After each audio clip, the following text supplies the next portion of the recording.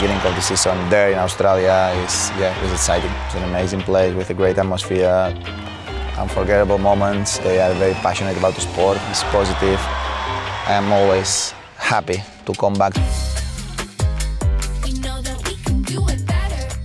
What's the first feeling that comes to you in Australia? Well, jet lag, but but normally, in some way, you feel a little bit like coming home.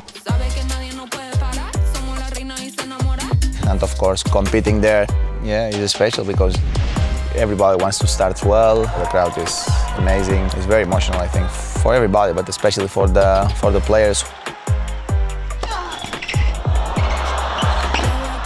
I really love when the fans uh, become part of the match. You know? the fans are happy and excited because like, taking part of it, that creates a, an amazing atmosphere.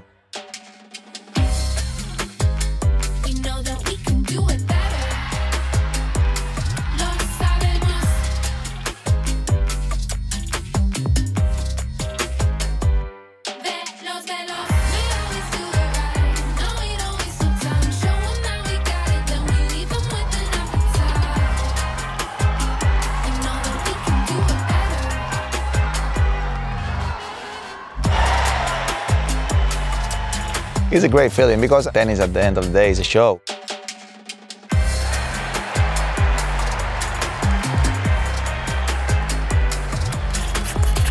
Feliz. That's my feeling. What's yours?